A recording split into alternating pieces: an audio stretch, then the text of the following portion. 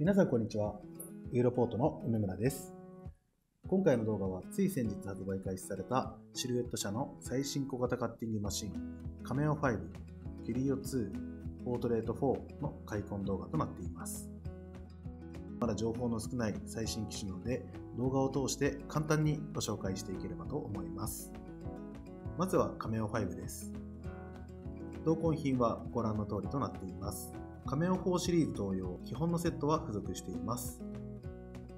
変更点としては、Bluetooth 機能が向上したことにより、基本の接続方法が USB 接続ではなくなったので、接続コードが付属しなくなりました。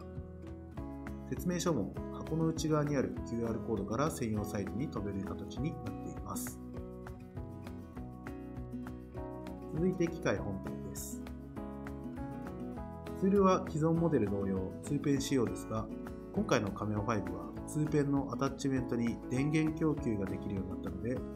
新しくエンボスや白押しといった加工が行えるツールが使えるようになりました。また、ピンチローラーの可動域が広くなったので、最小5インチのサイズをセットできるようになっています。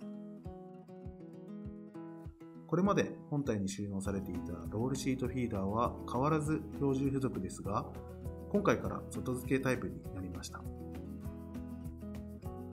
外付けになったことで本体の高さが低くなっており、よりコンパクトになりました。続いて、ポートレート4のご紹介です。ポートレート4もカメオ5同様、オートブレード、粘着台紙、電源アダプターがセットになっております。同様に USB の接続コードは付属しなくなっています。本体サイズはそこまで変わっていませんが、カット時の動作保証範囲の幅が若干広くなりました。ポートレートにも電源供給ツールがついたので、白押し加工が可能になりました。また、本体にリピートジョブボタンがついたので、ボタン1つで同じ作業を繰り返すことができるようになっています。本体のデザインが変わって、さらにおしゃれなデザイン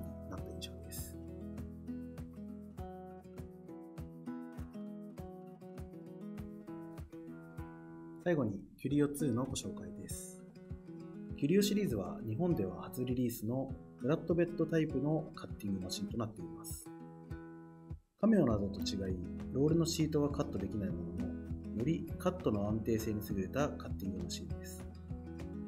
また、エンボス加工や白押しといった加工もカメオ5同様行えます。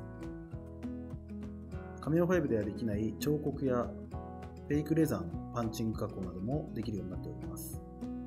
また、厚みも2センチまでセット可能なのも大きな特徴です。こちらがキュリオ2の標準付属品一覧です。電源アダプター、オートブレード、素材加工用のマスキングテープが付属しています。キュリオでは粘着台紙の代わりに静電テーブルが付属しています。粘着による素材の傷みを軽減するため静電気を使用して素材を固定する形になっています。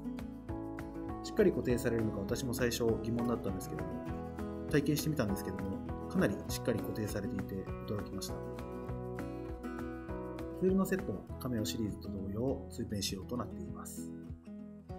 キリオ2はカメオシリーズよりもさらに幅広い素材、加工が行えるのが最大の特徴の機械かなと思います。かがでしたでしょうか？今回の動画ではシルエットから発売された最新カッティングマシン3機種の情報をお届けしました。が、まだまだお届けできていない情報などたくさんあるので、そちらに関してはこれから順次アップしていく予定です。それまでユーロポートチャンネルを登録して、ぜひお待ちください。また、皆さんが気になる情報や、こんなことが知りたいということがあれば、コメント欄でお気軽に教えてくだされば幸いです。それではご視聴いただきありがとうございました。